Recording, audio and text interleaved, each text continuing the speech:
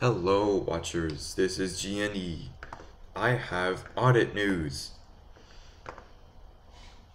An Arizona Attorney General, Mark Brnovich, on Thursday threatened to withhold state funding if Maricopa County doesn't turn over everything listed in the state Senate election audit subpoenas.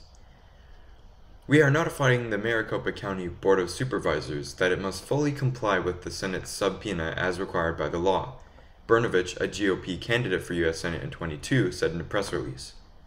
Our courts have spoken. The, the rule of law must be followed. The Attorney General's office said it will notify the state treasurer to withhold the state revenue if the county doesn't comply by September 27th. It is our understanding that Maricopa County could stand to lose to lose more than $700 million a year in state shared revenue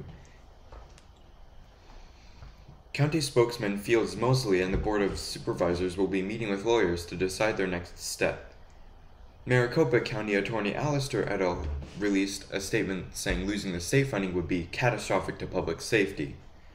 As the individual elected to keep the residents of Maricopa County safe and res- represent them in a criminal justice system, I will say that withholding state funds from Maricopa County would be catastrophic to public safety and my office's ability to hold criminals accountable and protect the rights of the crime victim, she said.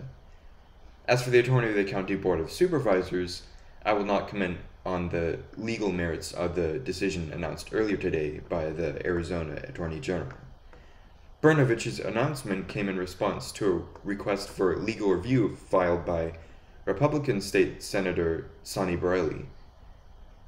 The AGO determined that the county is violating state law by not turning over all the materials, including routers and network logs required as part of the GOP ordered audit into the 2020 election.